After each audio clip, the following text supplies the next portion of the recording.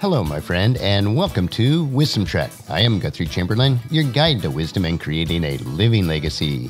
Thank you for joining us for our five day per week wisdom and legacy building podcast. This is day 514 of our trek, and today we are starting a new series called The Tools in Gramps' Backpack.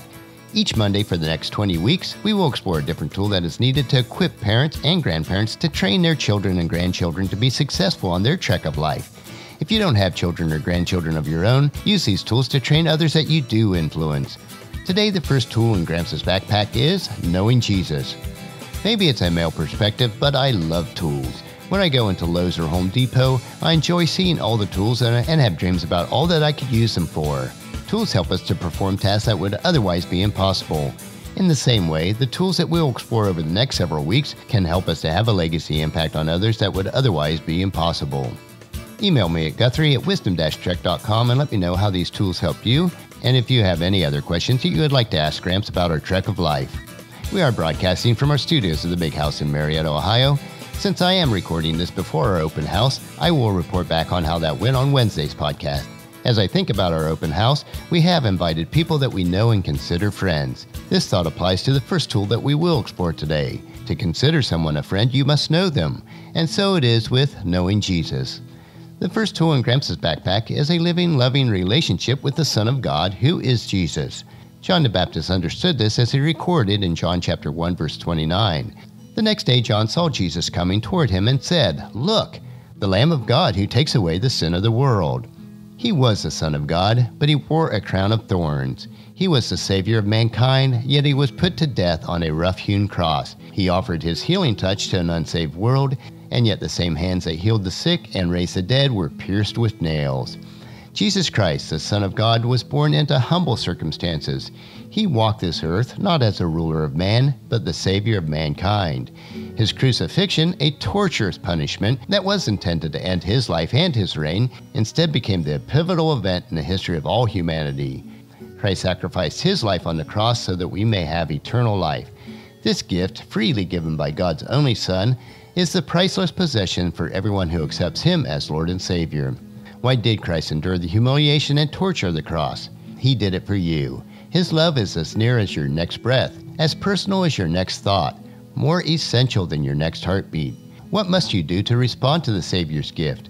You must accept His love, praise His name, and share His message of salvation.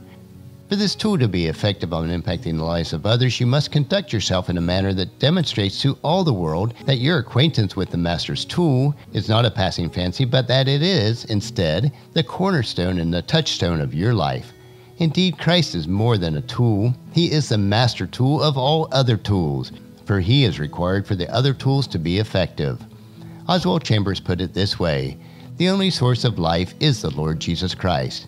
As for Jesus' position, Hebrews chapter 2 verse 9 says, What we do see is Jesus, who for a little while was given a position a little lower than the angels, and because he suffered death for us, he is now crowned with glory and honor. Yes, by God's grace, Jesus tasted death for everyone. C.H. Spurgeon summed it up in this manner infinite and yet an infant, eternal yet born of a woman, supporting a universe and yet needing to be carried in his mother's arms king of angels, and yet the reputed son of Joseph, heir of all things, and yet a carpenter's despised son. John chapter 4 verse 14 in the voice translation explains it so well. The voice took on flesh and became human and chose to live alongside us. We have seen him enveloped in undeniable splendor, the one true Son of the Father, evidenced in the perfect balance of grace and truth. With these thoughts in mind, we will conclude our trek for today and close Gramps' backpack. Before I do, I will pass this tool that we have explored onto you. It is up to you to use it to train your children, your grandchildren, or anyone else that you have an opportunity to impact. Tomorrow's trek, we will explore another wisdom quote. This three minute wisdom supplement will assist you in becoming healthy, wealthy, and wise each day. Thank you for joining me on this trek that we call life. Encourage your family and friends to join us and then come along with us tomorrow for another day of Wisdom Trek, creating a legacy. If you'd like to listen to any of the past daily treks or read the daily journals, they are available at wisdom-trek.com. And thank you so much for allowing me to be your guide, your mentor, but most importantly, I am your friend as I serve you through the Wisdom Trek podcast and journal.